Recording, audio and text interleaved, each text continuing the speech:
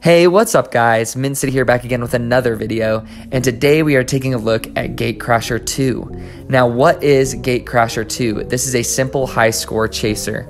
So, you put your thumb on the screen and you move it horizontally back and forth on the screen in order to make these two tracers, which are purple and yellow, um, cross paths with each other so they can go on different sides of the screen.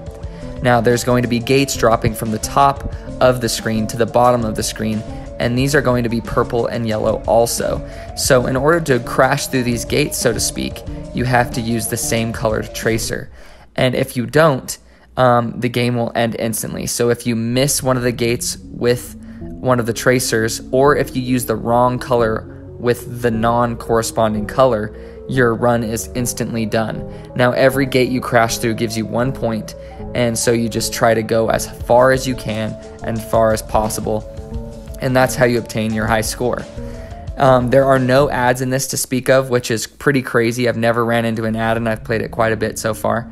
Um, it's very addicting. The sound design is super good. The music constantly escalates and continues to play the farther you make it along in a run. So you're kind of getting rewarded with more music as you're surviving. Um, there's haptic feedback where your phone will vibrate every time you crash through a gate, which makes it super satisfying to continue to go into this like flow state where everything's just um, clicking and you get the super high score. It's just really satisfying. It's a very satisfying, simple, and addicting game. So I highly suggest you guys check this out.